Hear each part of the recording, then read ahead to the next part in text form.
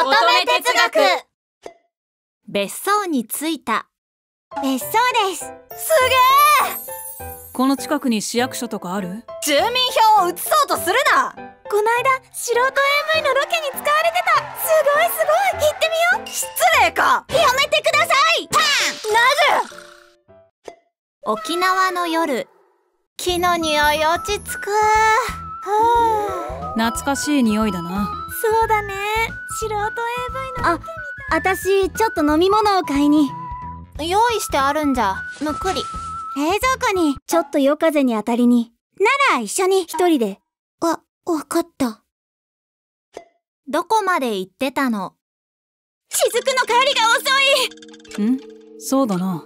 いやはり一緒に行った方がなんてことはわなわな探しに行く？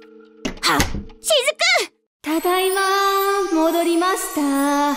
風が気持ちよかった。つやつやどこに行ってきた箱イコールライブハウス。の飲み物を買いに行ったんじゃ。え飲み物ですか？それならちゃんとカウンターで交換してもらいましたよ。お前絶対箱に行ってきただろ。夏っていいな。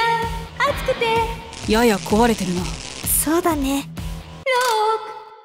あ死んだ。なぜ？小腹が空いたな。そんな雫が私を置いてたった一人で遊びに行くなんて。誘ってくれれば私だって一緒に。アイスないかな？ダッツあんじゃん。うわマジ？どうしてもどうしても一人で行きたかったのね。私は邪魔で。やったいちごもーらい私バナナミルうーん。みずきちゃんは？クマーカデミアで。わか大丈夫。海。泳ぐぞ。暑い。綺麗だね。あのみずきちゃん。なーにこれ動きづらいよ。わざだの？一周。あの私何かした？何もしてないわよ。でももう。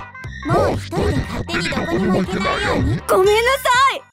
そこの女の子。かわいいね。遊ばない？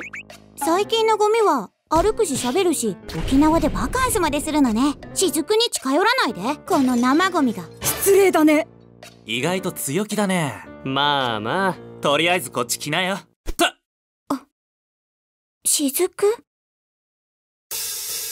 ただいま戻り